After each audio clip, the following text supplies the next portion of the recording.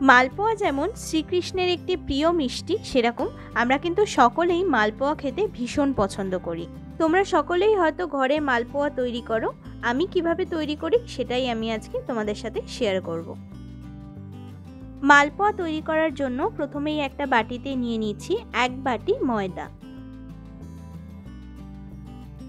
আর নিয়ে নিচ্ছি হাফ বাটি সুজি। এক্ষেত্রে যে বাটির মাপ করে আমরা ময়দা নিয়েছি, সেই বাটির মাপ করেই নিয়ে নিয়েছি সুজি। এবারে এর মধ্যে দিয়ে দিচ্ছি শুকনো নারকেল কোড়া। এটা যে কোনো গ্রসারি শপে অ্যাভেলেবেল তোমরা যে কোনো গ্রসারি শপেই পেয়ে যাবে। এখানে আমরা চার থেকে পাঁচ টেবিল চামচের মতো নারকেল কোড়া ব্যবহার করেছি। তোমরা চাইলে নর্মাল নারকেল কোড়াও ব্যবহার করতে পারো। এবারে এর মধ্যে অ্যাড করছি একশো গ্রাম চিনি। দিয়ে দিলাম সামান্য একটু নুন। তারপরে হুইস্কারের সাহায্যে ভালো করে প্রথমে শুকনো উপকরণগুলো মিশিয়ে নেব। এবারে আমরা এর মধ্যে হালকা গরম দুধ দিয়ে দেব আর কন্টিনিউয়াসলি নেড়ে চেড়ে নিয়ে ভালো করে একটা লামস ফ্রি ব্যাটার তৈরি করে নেব।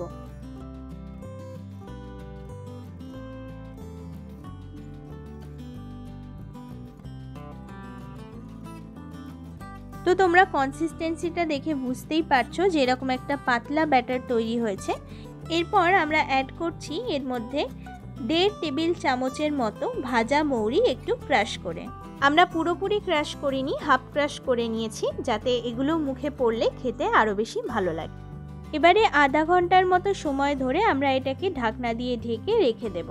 ততক্ষণে আমরা চিনির শিরা বা রস তৈরি করে নেব। তার জন্য কড়াই কিছুটা জল দিয়ে দিয়ে দিচ্ছি এক বাটি চিনি। এখানে আমরা ব্যবহার করেছি দেড়শো গ্রাম পরিমাণ চিনি। এবারে ওই বাটিরই মাপ করে এর মধ্যে দিয়ে দিচ্ছি দু থেকে আড়াই বাটির মতো জল।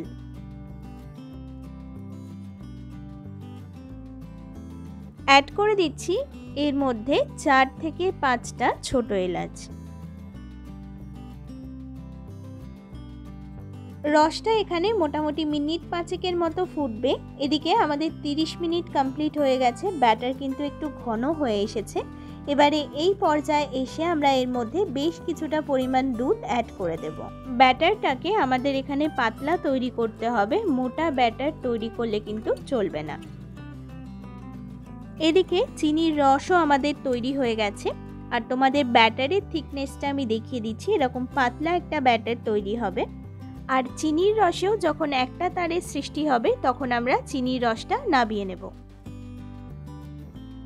একটা সসপ্যানে বেশ কিছুটা তেল দিয়ে দিয়েছি। তারপর তেলটা গরম হলে এক হাতা ব্যাটার আস্তে আস্তে ঢেলে দেব। ফ্লেমটা এই সময় লো টু মিডিয়ামে করে দেব যাতে মালপোয়াটা বেশি পুড়ে না যায়। এরপর আস্তে আস্তে দেখা যাবে যে মালপোয়াটা ফুলে উঠছে। তারপর উল্টে পাল্টে মালপোয়াটাকে ভেজে নিতে হবে।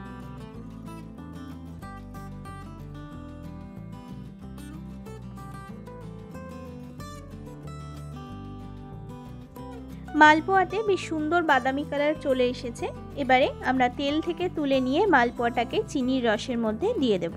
মিনিট পাঁচেকের মতো চিনির রসে মালপোয়াটাকে নাড়াচাড়া করে নিলেই চিনির রসটা মালপোয়ার মধ্যে ঢুকে যাবে।